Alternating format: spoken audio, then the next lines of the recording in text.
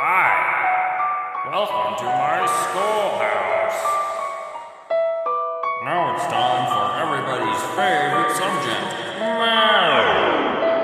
I go to school and get a corrupted education. The time I spend here's left me yearning for vacation.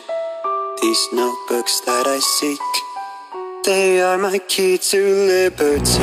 I think the teacher might be somewhat psychopathic. Can't even figure out his basic mathematics. Incomprehensible, close to impossible. And as I get his problems incorrect, he directs.